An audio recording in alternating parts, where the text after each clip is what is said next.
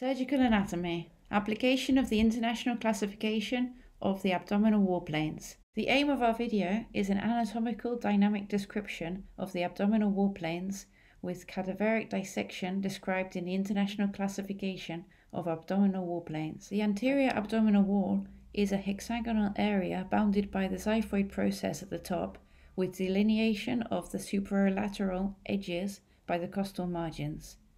Below, it extends along the iliac crests and narrows to the superior edge of the pubic bone of the pelvis in the midline. The inferolateral margins are defined by the inguinal ligaments bilaterally. We did an anatomical dissection of the abdominal wall planes with formalin cadaver. The abdominal wall can be divided into midline and anterolateral groups of muscles. The rectus abdominis and the pyramidalis muscle comprise the midline group. The bilateral anterolateral groups are composed of a trilaminar structure consisting of the external oblique muscles, internal oblique muscles, and transversus abdominis muscles. The aponeurotic component of internal oblique also carries a crucial distinction occurring above and below the arcuate line.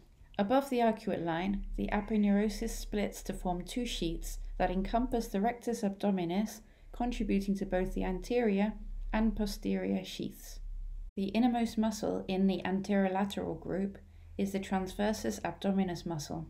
It lies directly under the internal oblique muscle and above the transversalis fascia. The transversalis fascia is a thin line of connective tissue lying between the deep surface of the transversus abdominis and the extraperitoneal fat. Below the arcuate line, the aponeurosis of the transversus is responsible for merging with the internal oblique as it passes anterior to the rectus complex. Last year, the International Classification of Abdominal Wall Planes, ICAP, was published in the British Journal of Surgery to describe mesh insertion for ventral hernia repair. The aim was to achieve consensus by enlisting internationally recognized academic abdominal wall reconstruction surgeons and employing Delphi methodology to establish an international classification. The process consists of five phases questionnaire development, expert panel selection, 20 international abdominal wall surgeons were selected, and three rounds of questionnaire distribution. Finally, the consensus proposed 10 abdominal wall planes.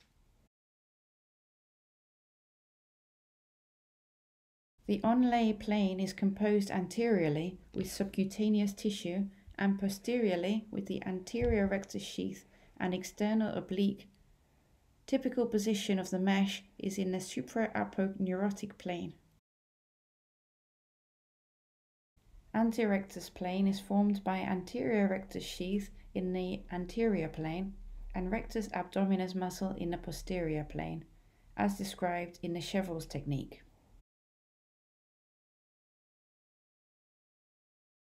Inlay plane. The mesh is attached to edges of hernia defect with no overlap. This technique is in disuse.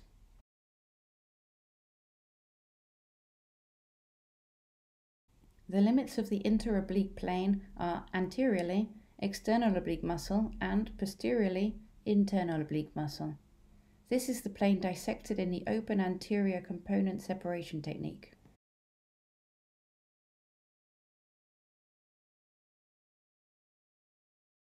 The retrooblique plane is delimited anterior by internal oblique muscle, posterior by transversus abdominis muscle.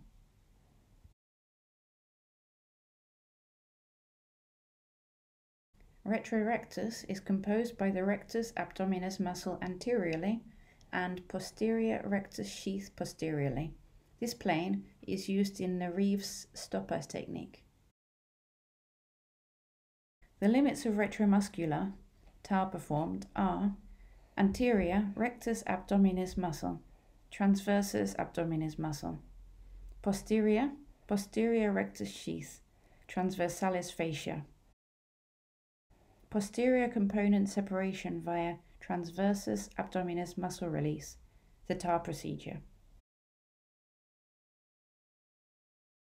Transversalis fascial plane is formed by anteriorly posterior rectus sheath, transversus abdominis muscle.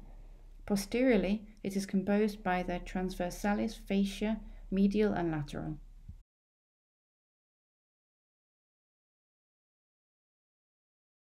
The preperitoneal space is defined anterior transversalis fascia and posterior with the peritoneum.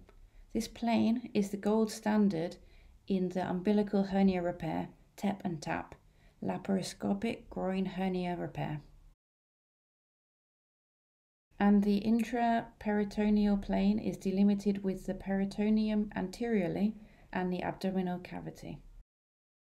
A proper knowledge of the abdominal wall anatomy will help to choose the right location of mesh insertion and contribute to greater clinical value. A standard nomenclature for the abdominal wall is necessary for mesh placement during ventral hernia repair.